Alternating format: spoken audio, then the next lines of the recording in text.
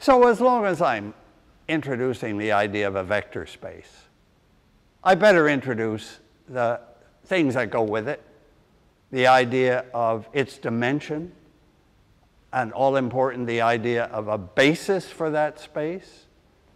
That space could be all of three dimensional space, the space we live in. In that case, the dimension is three, but what's the meaning of a basis? A basis for three dimensional space, or a basis for other spaces. Okay, so I have to explain independence, basis, and dimension. Dimension's easy if you get the first two. Okay, independence. Ind are those vectors independent?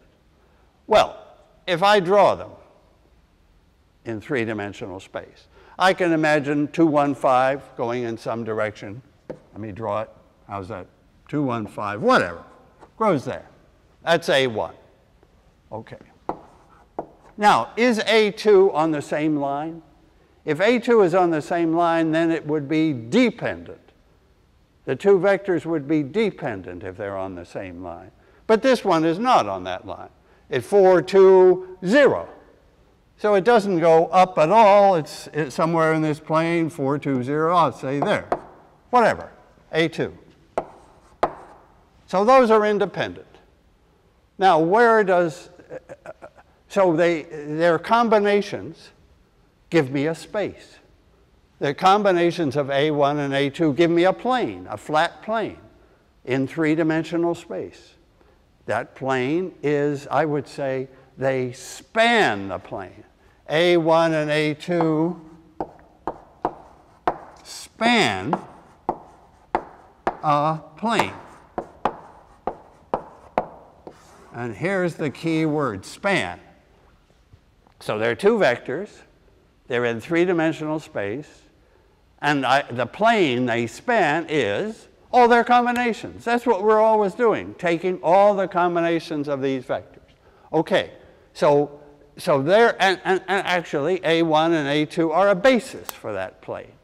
A1 and A2 are a basis for that plane because they, their combinations fill the plane, and also they're independent. I, I need them both.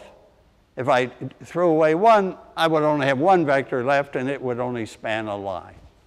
Okay, now let me bring in a third vector in three dimensions. Well, what shall I take for that third vector? Huh, suppose I take A1 plus A2 as my third vector. So 6, 3, 5. What about the vector 6, 3, 5? Well, what do I know? It's obviously special. It's A1 plus A2. It's in the same plane. So if I took A3 equal 6, 3, 5, that would be dependent. If I, the three vectors would be dependent with that A3, they would span the plane still, their combinations would still give the plane, but they wouldn't be a basis for the plane. A1 and A2 and A3 together that's too much, too many vectors for a single plane. The vectors are dependent, and we don't, a, a basis has to be independent vectors. You have to need them all. We don't need all three here. So that's a dependent one. It, it, it, it, it won't go in, can't go into a basis with A1 and A2 because the three vectors are dependent. Now let me make a different choice. So that, that was dead. That did not do it. All right, let me take A3 equal some other, not a combination of these, but headed off in some new direction. Well, I don't know what that new direction is. Maybe 1, 0, 0. What the heck?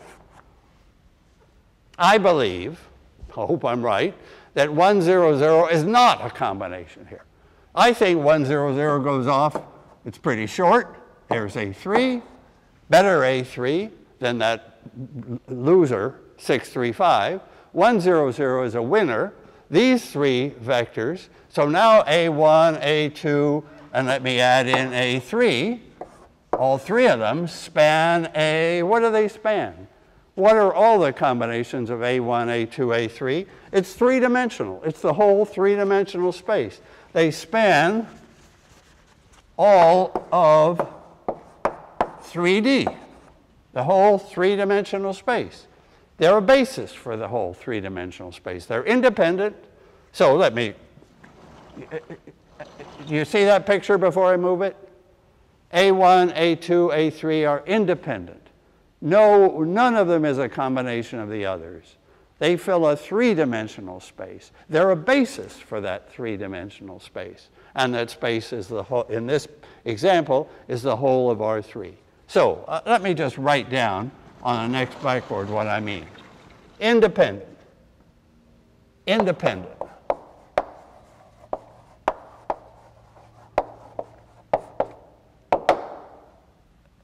So, independent columns of, of a matrix. Independent columns of a matrix A means the only solution to A V equals 0 is V equals 0. So if I have independent columns, then I haven't got any null space. If I have independent columns, then the null space of the matrix is just the zero vector, is the zero vector.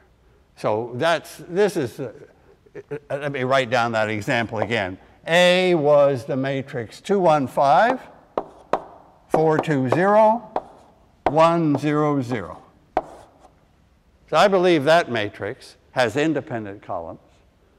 So its column space is the full three-dimensional space. Its null space only contains, let me put it, make that clear that that's a vector. And, and, uh, and, and now I'm ready to explain, write down the idea of a basis. So what is a basis for the, for the space? A basis for a, sub, a space, a subspace. Independent vectors, that's the key. Independent vectors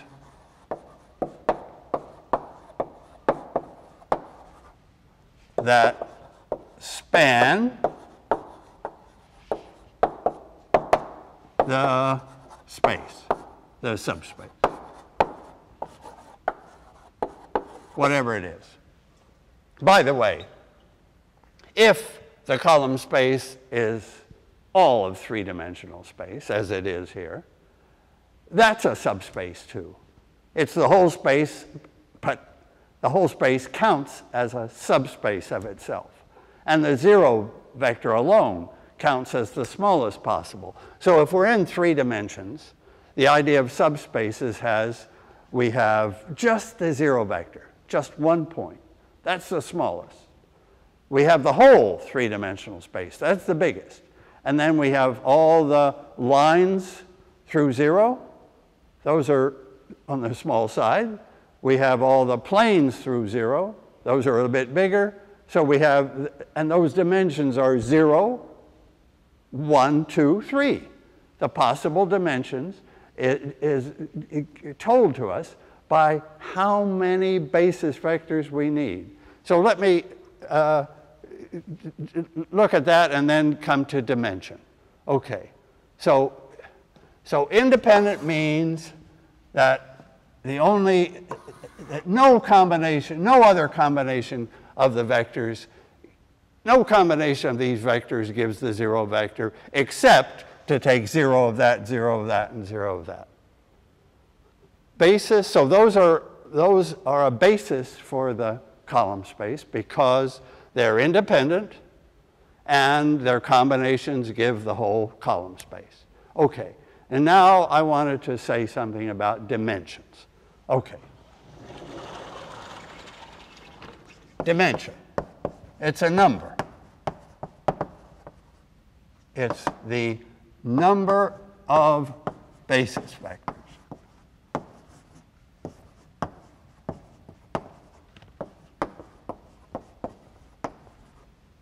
For the subspace. Oh, but you might say that the, the subspace has other bases, not just the one you happen to think of first. And I agree, many different bases. All I need for this example, all I need for the, to get a basis for, in this case, for three-dimensional space, is I need three independent vectors, any three. But the point is, the point about dimension is that I need exactly three. I can never get two vectors that span all of R3.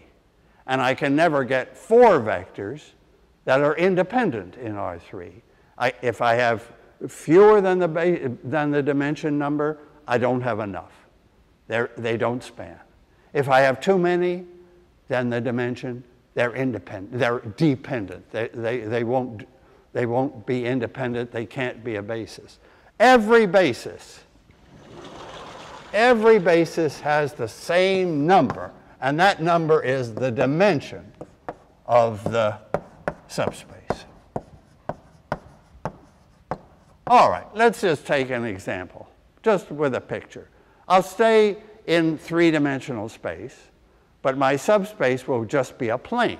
So here I'm in three-dimensional space, good. Now I have my subspace is a plane. So it, can, it goes through the origin, but it's only a plane.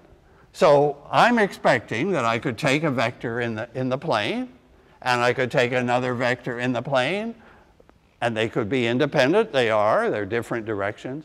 But I couldn't find a third independent vector in the plane.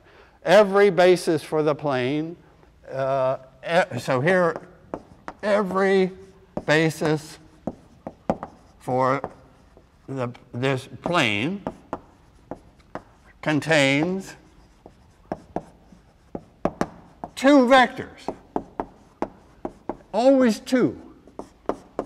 And that number two is the dimension of the plane. Well, I'm just saying, the plane there is two-dimensional. It's not the same as R2. It's not the same. That plane is a plane in R3.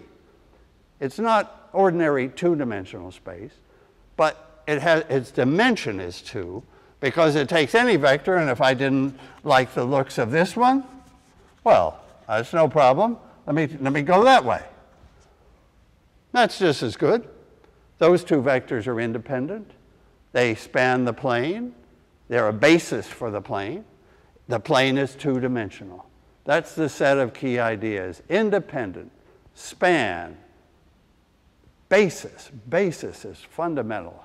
Basis is a bunch of vectors, and dimension is how many vectors. Okay, those are key ideas in linear algebra, and uh, you'll see them come into the big picture of linear algebra. Thank you.